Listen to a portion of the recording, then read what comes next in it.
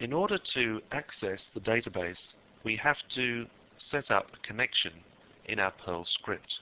Here I've just set up the basic beginning parts of our Perl script, the shebang line, and I've used the CGI module to provide the header. In order to connect to the database, we need to use the DBI module. So let's add that line in straight after the CGI one. And now that we've done that, let's set up a connection to our database. And we do this by creating a database handle. And I'm going to call this con for connection. And a database handle is what's returned by a certain method of the DBI module. And we call that method like this. Similar syntax as you can see to using the CGI module. We give the package name and then the little arrow symbol there. And the method that we want to call is connect. And this sets up the handle for the database that we're wanting to connect to. The connect method takes three arguments. The first of these is the connection to the database parameters. Let's actually move this outside of our connect call to the connect method and we're going to set up a variable called params. Now our params scalar variable is going to contain several things. It has to begin with DBI, then a colon, and then the name of the database that we're trying to connect to, the particular database software that we're using. In this case, we're going to be using MySQL as an example. However, whatever database name you are going to be working with should be included here after that colon.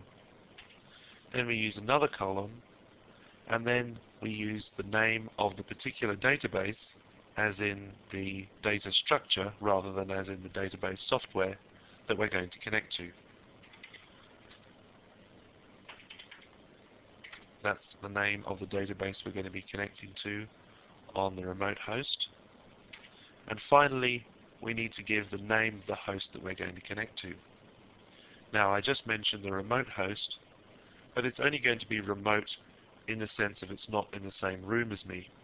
As far as the Perl script goes, it's going to be on the same server and therefore is going to be localhost because we're running our Perl script from the remote host.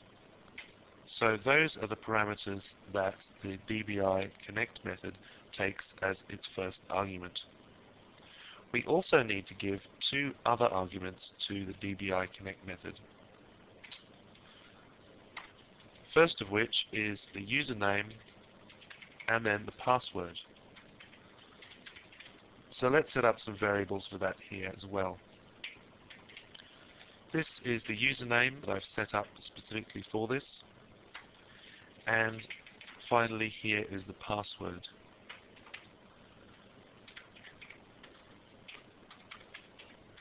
Rest assured that by the time this CD becomes public, this user will have been taken down and the password removed.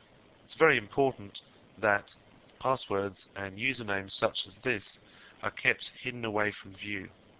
So now we've been able to set up our database connection and created a database handle.